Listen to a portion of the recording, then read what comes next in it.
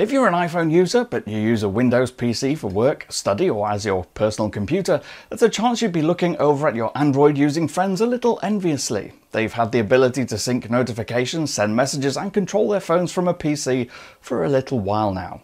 If that's you, look enviously no more. With the latest Phone Link update, you can connect your iPhone to your PC in much the same way, although slightly restricted. This means you'll be able to view notifications, messages, and more all wirelessly direct from your Windows 11 PC. I'm Cam Bunton from Pocketlint, and in this video I'm going to show you how it's done. So before you get started or get your hopes up, there are some requirements that you'll need to meet in order for this to work properly.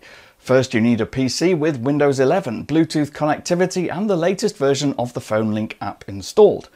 That Phone Link app is also available for Windows 10, but that one only supports Android phones on that version. Trust us, we tried.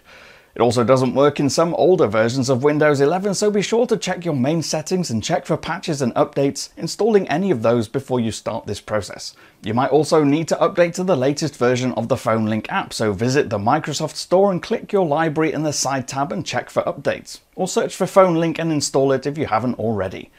Then you'll need an iPhone running iOS 14 or later with the Microsoft Link to Windows app installed. You can find that by searching in the App Store.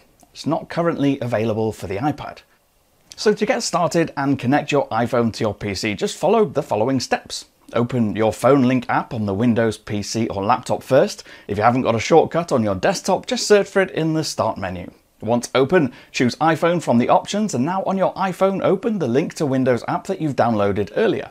On your phone, tap Scan QR Code. It might ask you for access to your camera if you haven't used this app before. Now use your iPhone to scan the QR code on the screen of your PC. Allow the app to access your Bluetooth if that option comes up, and then pair with the PC. You may need to confirm a PIN number matches here before continuing on both devices.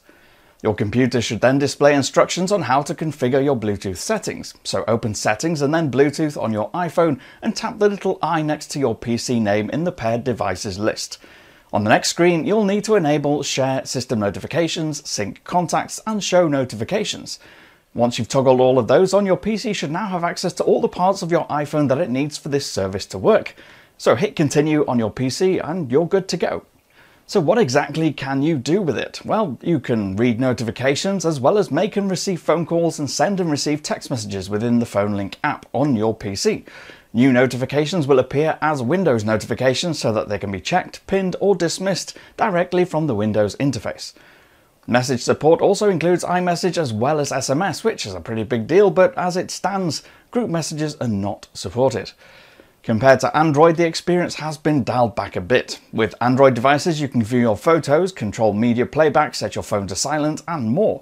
If you wish to access your iPhone photos on your Windows PC, you can do that with the Photos app and its iCloud integration, but the fact that it's a separate app makes this a little bit more of a hassle. So, there you go, a quick guide on how to connect and sync your iPhone with your Windows PC. I've been Cam, I'm at Cam Bunton on social media. If you want to get hold of me there, you can do, or you can use the comments down below.